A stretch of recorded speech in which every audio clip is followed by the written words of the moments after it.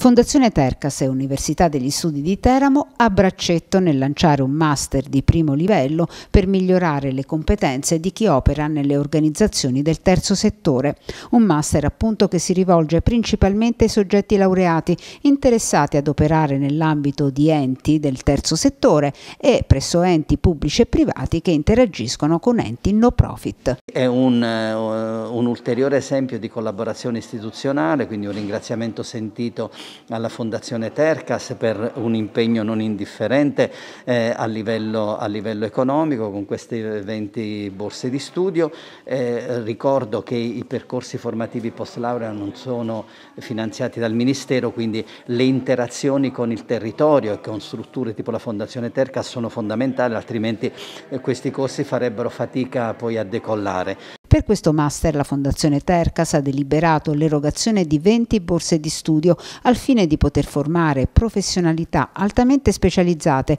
e consentire alle organizzazioni del terzo settore di competere al meglio per il raggiungimento dei loro obiettivi, come spiega la Presidente Tiziana Di Sante. Abbiamo inteso riservarle eh, agli abitanti appunto della nostra provincia, ma a chi già lavora da tempo negli enti del terzo settore eh, e quindi proprio a dire che mh, questa importanza di rinnovare le proprie competenze, sia alla luce della riforma, ma anche alla luce delle grandi sfide che ci aspettano nell'ambito del Piano Nazionale di Resilienza e Resistenza, che dedica alla coesione sociale fondi importanti. Questi fondi devono arrivare però sul territorio e ci devono arrivare con delle iniziative che abbiano una ricaduta eh, misurabile, effettiva e da qui anche l'importanza della valutazione di impatto a breve e lungo termine sul nostro territorio.